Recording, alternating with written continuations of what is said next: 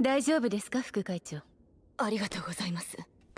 問題ありません。副会長私のジャージ貸してあげようか。いや気持ちだけで十分だ。本当？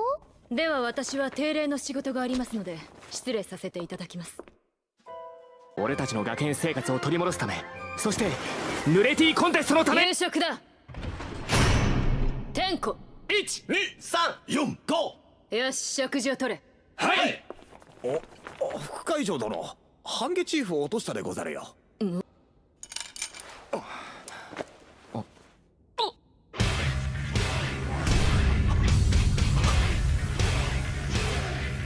慎吾は乳首を見てあんなにボコボコにされた。